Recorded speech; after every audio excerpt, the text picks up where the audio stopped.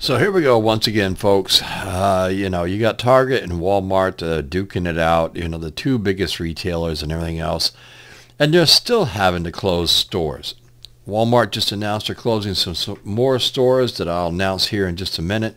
They're also, we all know they've been closing stores all across the country. And Target has been doing the same thing. Everybody is downsizing right now because of the economy, high interest rates, and theft. So, you know, I mean, it, it's all boiling down to where you live depends on if you're going to be keeping your store and if your store is profitable in their eyes. So, you know, you may see the store always busy and everything else, but if it is not turning a profit on paper, then guess what? These stores are going to be on the chopping block coming soon, maybe to a neighborhood near you, because Walmart started, what, a few months ago, they announced they were closing a bunch of stores, and they've been adding to that every single month since then. Where does the madness stop, right? I don't think we're really going to see any type of relief or anything until we can get the economy under control because everybody is trying to make sure that the shareholders are happy. And they're not going to be happy unless they are turning profits. So they're going to do whatever they have to do. They don't care about anything else. It's all about profit. So if the stores have high theft problems, if they're not meeting their quotas, if they're not on target to meet their base profit that they were probably assigned, they're probably going to end up closing those stores. And for a lot of communities, it may be a huge hit to the American people throughout this country because, you know, there may not be another store close by.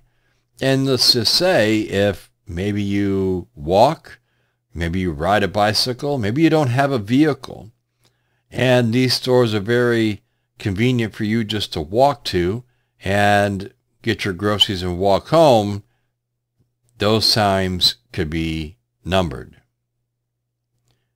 So let's dive into some of this stuff and see what's really going on here, folks. I mean, Walmart is the nation's most successful retail chain. Let's just face it, on paper, I know there's a lot of people that don't like going to Walmart, that doesn't support Walmart and everything else, but the fact of the matter is they're the most successful retail chain.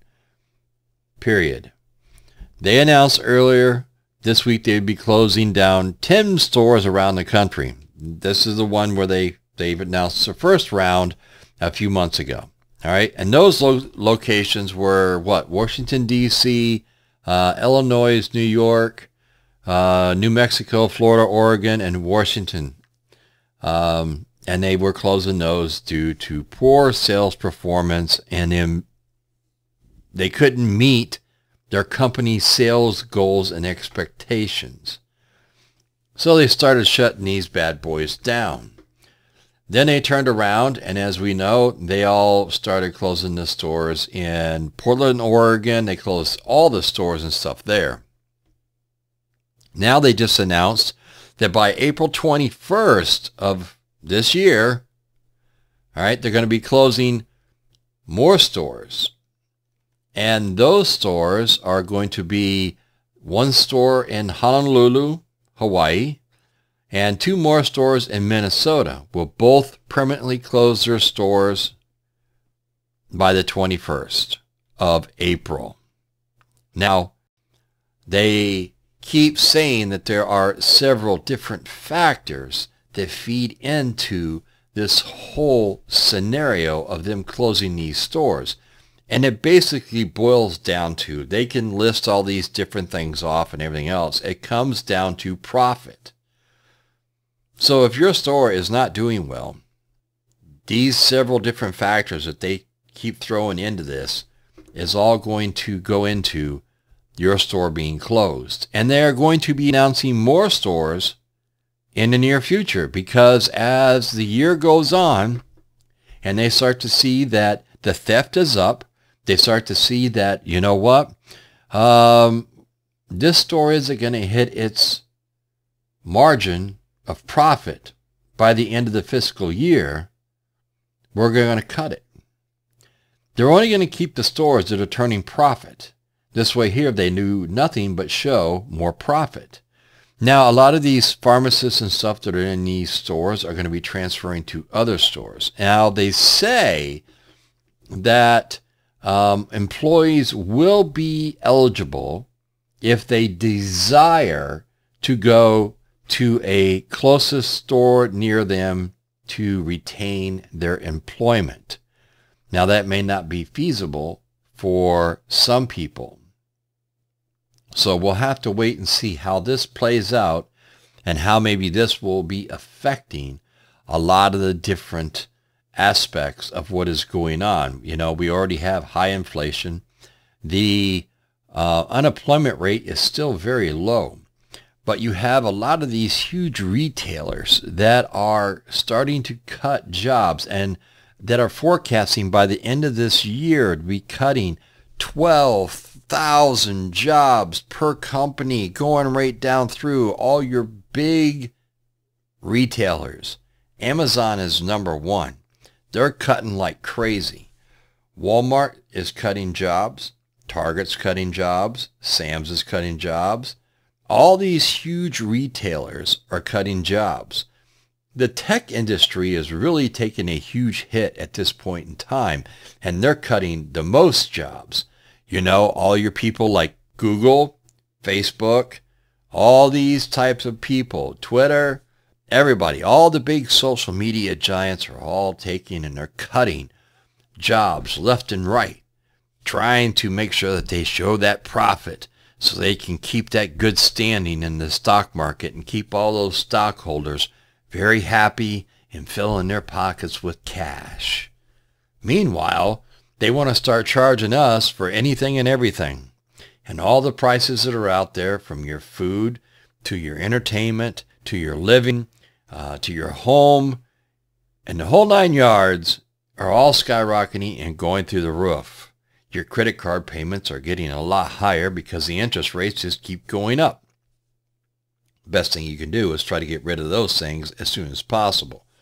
But the fact still stands, all these store closings and everything and trying to put it off as quote, you know, recalibrating the system and turned it into a profit margin type deal is only affecting a lot of different people throughout the country, and it may be affecting you in your own town. Now, the one thing that Target and Walmart are doing, they have they're the two largest retailers with store footage. Amazon doesn't go into this category. They have a store you can walk into and buy. All right.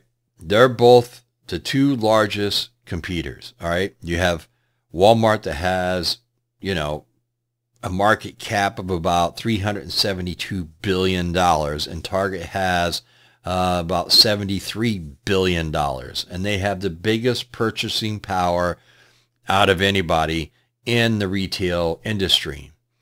And they're having a huge war right now with Easter coming. Now, Target is doing this where you can buy like the Easter basket and then all the cool stuff you want to put into it is all $5 or less. You kind of build your own. Now Walmart went one step further. All right. They're going to be offering bundled Easter baskets and bundled Easter dinners at last year's prices. Now that could be huge for a lot of people that are on tight budgets, that don't have a lot of money or anything else. So we're going to have to see who comes out and wins on this one. My money would be on Walmart because they're going to be selling everything at last year's prices for Easter. They're going to be doing a bundled dinner package uh, right down from like your hams, uh, potatoes. I mean, the whole thing that you have for Easter. And then the Easter baskets are going to be all at last year's prices. So they're eating the cost of the inflation on this. But what they're gambling is, I can already tell you, even though they didn't say this in any articles that I could find, The trick is to get you into the store. The trick is to see get you in there and you're going to see all right, these, these are really cool Easter baskets, or hey, I like that Easter dinner, but I like this too. So the more you buy outside of what they are doing, the more money they're going to be pocketing. And Lord only knows, they when they have you in the store, chances are you're going to be buying other things in there that maybe you probably don't need, but they'll be running them on, quote, a sale to make it look really good. So you really have to pay attention to what's going on, folks. These companies are all playing these games, and it affects you and me one way or the other, and we have to make sure that we are doing our part to be prepared for what is coming. Because it's only a matter of time before maybe another store around you starts to close. Because all these smaller retailers can't compete with Target and Walmart. It just doesn't happen. They don't have the buying power. Just saying. This is what it's come down to. And if things don't turn out and start to change soon within our financial system, we may be only left with Walmart and Target. Something to think about. I'm Survival Preparedness for Beginners. Thank you for joining me on this video today. You all stay safe. You keep prepping and make sure, pay attention when you go in these stores.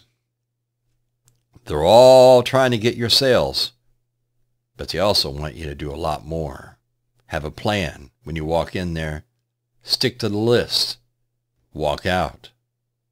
Save yourself some money. Till next time, I'm out.